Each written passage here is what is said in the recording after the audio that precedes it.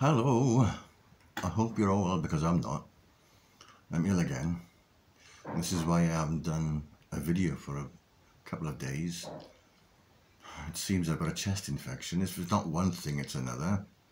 It all started off with my back aching when I was down in Wales.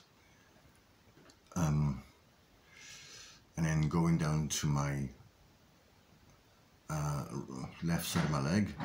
So I thought, I thought, well, it could have been arthritis or sciatica. And then I had that pain in my chest when it wasn't really pain, it was all, just a lot of discomfort. I ended up in hospital. And um, they didn't give me any anti antibiotics for that. Um, I heard some negative things about that hospital anyway, in, in what I went to. Um, so,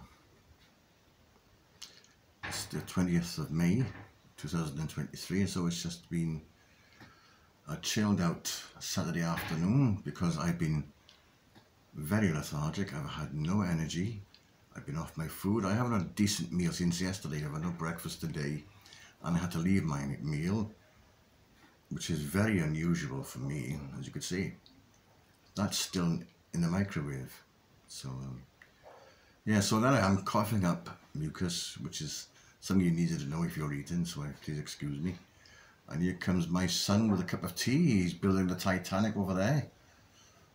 Which I'll probably show you tomorrow, actually, because he's really busy with it. Uh, this, this is a rare thing, this is. I'm filming. Uh, he didn't want to.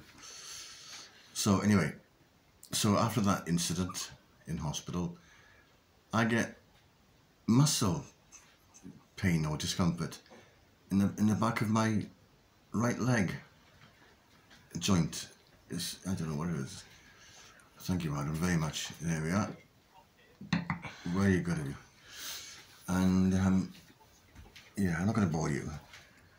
So that went, and now I've got this chest and stuff. So just when I think I was recovering, you know, do you want to do that Titanic video tomorrow? Because that's trending, that is. Do you want to say hello? Hello. That's my son, that is. He just brought me a cup of tea, which is a, a very rare thing. Um, yeah, so this is me. So, Nicola hasn't been very well either. She went to the doctors in Westbourne Medical Centre. I could tell you what was wrong, but I, um, I don't think she'll appreciate that. So I'll, hopefully I'll do a proper decent video because there's some events coming up here in Poole. So, as always, the Celtic Druid over and out.